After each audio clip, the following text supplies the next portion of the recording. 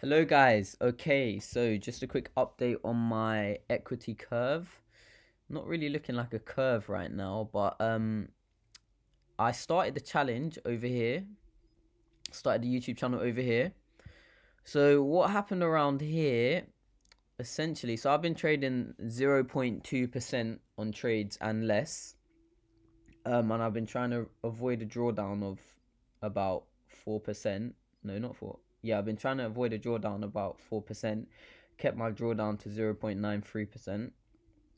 And um, so when you get these crazy down moves like here, I was watching a video by Mark Douglas, one of his psychology series. A profitable trader's, a professional disciplined trader's equity curve should slowly be oscillating up and down. So obviously all of these erratic moves up and down is me not following my rules, me doing stupid things and stuff. But so over here at this point is when I started discipline disciplining myself a little bit with set targets of one to one point five risk to reward. Went pretty well. Deviated from my plan a bit. And then this is where it deviated from my plan a bit. This is where we went uh then we went one to two risk to reward, stuck to it.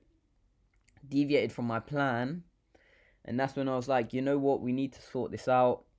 And um, that's when a YouTube channel started, and it's looking pretty good so far.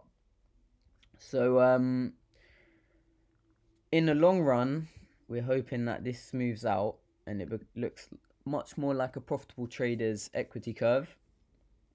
But I wasn't even serious when taking these trades, and it's still going upwards. So that just shows you the power of high reward. Win rate's not important. High reward and your your trades will blast. And um, in terms of charts, I have looked to take. I'm taking AUD NZD. For me, it meets my rules if you want to know my rules, you can go to the other videos. But um, yeah, this meets my rules. I don't have to go through my rules every video because you guys will get bored. I entered on this divergence, quite a big divergence, and you could also argue from here to here would be a divergence as well. So that would have been an entry, but I got my divergence over here. We'll see if it works out. If not, not a problem.